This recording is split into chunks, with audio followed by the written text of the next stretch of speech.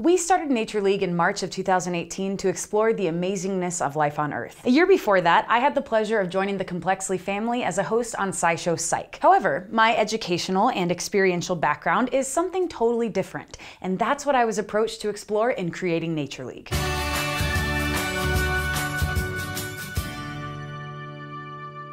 When we began discussing a channel about life on Earth, I had a few things in mind stemming from my graduate work in international biodiversity conservation. First off, I'd been thinking about what a good Anthropocene looks like. In an era dominated by the presence and influence of humans on the Earth, how can the relationships between species be healthy and happy? And speaking of humans, where do we fit into the concept of nature? Are humans a part of nature? Or is nature defined by a place where humans aren't? More importantly, how do we include respect and responsibility in the conversations and considerations of our role in the natural world? These are all themes and questions that I struggle with every day, and one of my goals with this channel is to think them through with all of you. Most of these topics wind up being values all the way down, and the way we prioritize life on Earth has to do with our values more than anything values that can change person to person. My graduate work so far has made me realize that international wildlife conservation has to be collaborative, and sometimes science isn't the best way to solve every problem. Two years ago in a wildlife biology course, we were asked to create our ideal conservation team.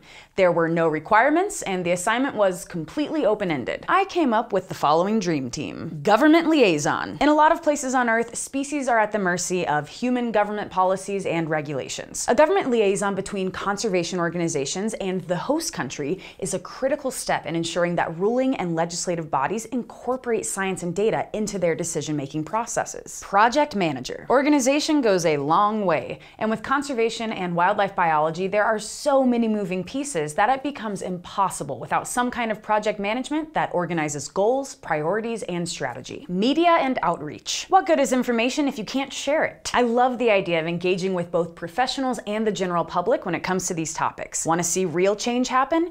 Reach out to kids, get people interested, listen to those who have something at stake, and provide them with what they need to make the best possible decisions. Plus, without a media outreach specialist, I wouldn't be doing my part for millennial job security. Data scientist. Work smart, not hard. Part of my graduate work is focused on the incorporation of data analytics into global conservation, and I've learned about some incredible ways that data and computing can be applied to life on Earth. Any good task force would be beyond fortunate to have a solid data scientist on hand. Fearless leader. At the time, I'm pretty sure I added this just so I could include myself as King Arthur in the round table schematic I put together.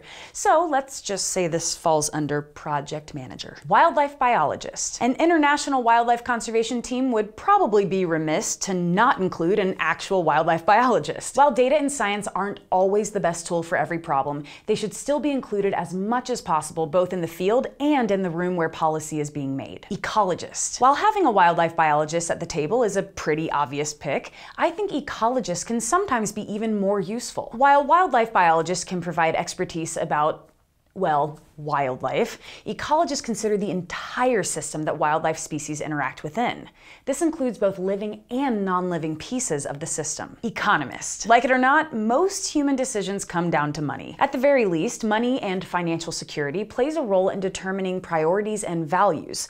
So when it comes to making choices about conservation goals, it's absolutely critical to include economics. Psychologist. The core of strategies for effective conservation should include a consideration and understanding of the local human needs, objections, and priorities. Social science is so important when it comes to actually affecting change. My dream team has changed a bit over the last two years, but I've only made small changes. For example, disciplines like sociology, anthropology, and indigenous peoples representation would be a huge asset, and would replace my original psychologist member. But really, this team is pretty close.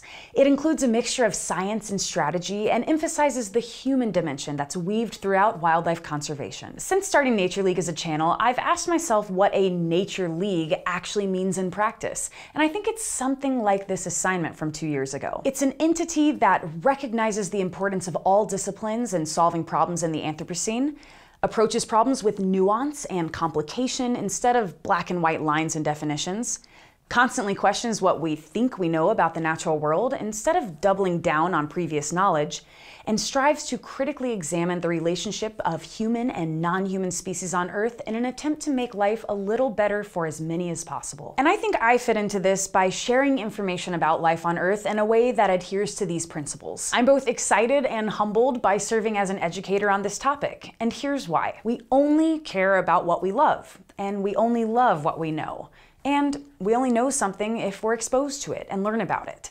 And that's what I hope to achieve by sharing knowledge here. So when I think about a nature league, I'm really thinking about a group of humans that believe in these guiding principles and are willing to share their expertise to solve problems, regardless of what they know or study and this includes all of you. So, if this sounds good to you, join the Nature League by thinking and feeling critically about life on Earth and learning with us here on the channel. And you can do so by making sure to subscribe, share these videos with your friends, and keep asking us questions about life on Earth in the comments section and on social media. Life on Earth is definitely my thing, but it doesn't have to be everyone's thing. As long as we, as a Nature League, ask ourselves to actively, critically, and charitably think and feel about life on Earth, I think we're off to a great start. Hey guys, to celebrate the one year anniversary of Nature League, we made these really cool pins and they're for sale on dftba.com. So if you'd like your own and want to be a part of the Nature League, check out the link in the description. Thanks so much for supporting us.